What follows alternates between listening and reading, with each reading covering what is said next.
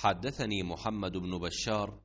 حدثنا محمد بن جعفر حدثنا شعبة عن أبي عمران الجوني عن طلحة بن عبد الله رجل من بني تيم بن مرة عن عائشة رضي الله عنها قالت قلت يا رسول الله إن لي جارين فإلى أيهما أهدي قال